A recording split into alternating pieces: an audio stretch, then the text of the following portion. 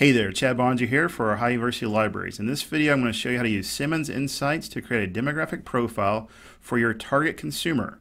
Your target consumer can be one who engages in a particular activity, for example, someone who likes uh, mountain biking versus running, or someone who has a particular interest, for example, they like ML, Major League Baseball versus NBA basketball, or particular people who uh, buy a particular product for example, a particular shampoo or type of breakfast cereal, we can get key demographics of those people using Simmons Insights. And this video is going to show you how to do it. So here you go. When you first arrive at Simmons, it's going to ask you to uh, log in with your name. Um, this is after you've all logged in with your Ohio ID and whatnot. It's going to ask you to log in with your name, your email address, and assign a role.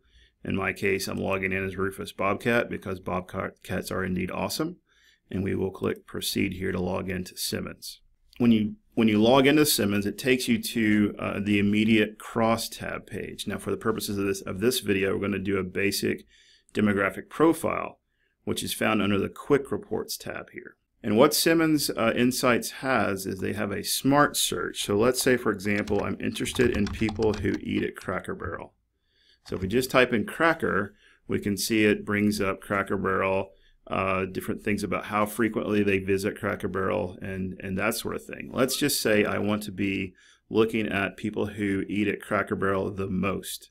So Cracker Barrel is basically their favorite restaurant. So we're going to click that. And because we're looking at people who uh, eat Cracker Barrel or most, that's my target consumer. So I'm going to click on target over here.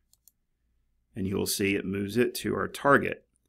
Once we have something over here in our target, we can click on demographic profile and then click the run arrow. So this takes us to where we get a basic demographic profile including general statistics, education, ethnicity, income range, race, age, and gender for, um, for people who eat at Cracker Barrel the most. Okay, so that's pretty uh, good to look at.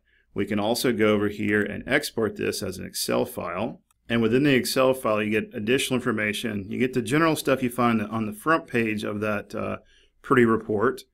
And then you see you can get information that drills down into various race categories, other statistics, education, gender. So it's a great way to really drill down to understand your consumer, uh, your target consumer for your particular product or particular people who engage in a particular activity. Okay. If you wanted to run another report, you just clear this and let's say we want to find information about people who are very interested in NBA basketball. Okay, so we do that. We find people who are very interested in NBA basketball. Again, we want to find information about that target consumer. So we're going to click on target, move to target. All right, and now we click on demographic profile and once again run our analysis.